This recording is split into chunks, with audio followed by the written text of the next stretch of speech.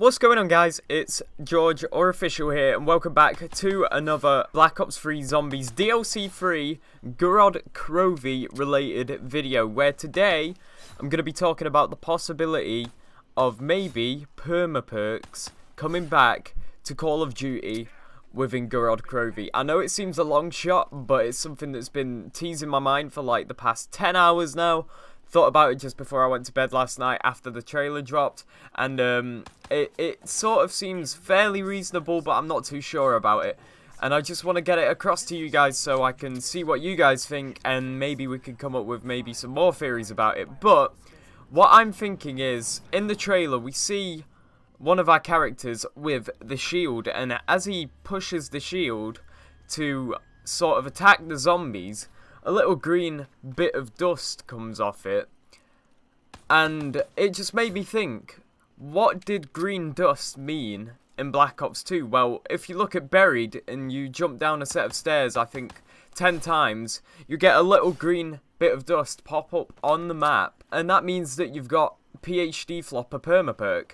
Uh, and it wears off if you take fall damage, but it meant that you got a perma perk and that perk was with you as long as you didn't mess it up.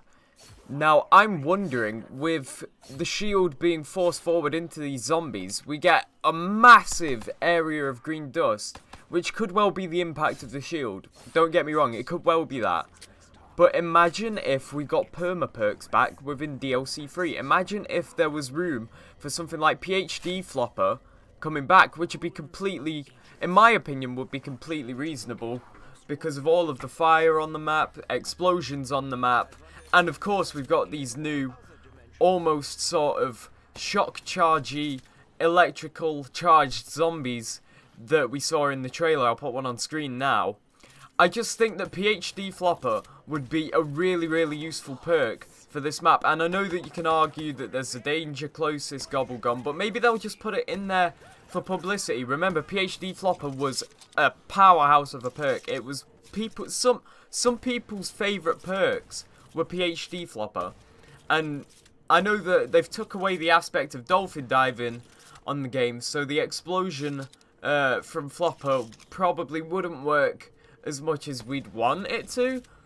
But it'd be a cool concept either way. It'd, it'd help to get you through all of the explosive areas, like all of the fiery areas maybe. I know it didn't do anything for the Panzer Soldat's flamethrower in Origins, but it'd be really cool uh, as an idea for maybe PhD Flopper to come back. As we saw in the trailer, there is the Wunderfizz machine. PhD Flopper was also available in the Wunderfizz machine in Black Ops 2 on Origins, but Imagine if it was a perma perk. That'd be crazy. And I'm going to leave that thought with you guys. So what would you think about perma perks coming back in Black Ops 3? Let me know in the comment section down below. What do you think about PhD Flopper? Do you reckon it will be a possibility of that coming back in Black Ops 3? Honestly, I'm sort of 50-50 with the idea right now. Uh, but imagine it, it would be fantastic if it did.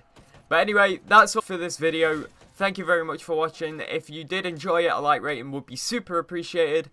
And until tomorrow, I will see you guys in my next video. Thank you very much. Goodbye.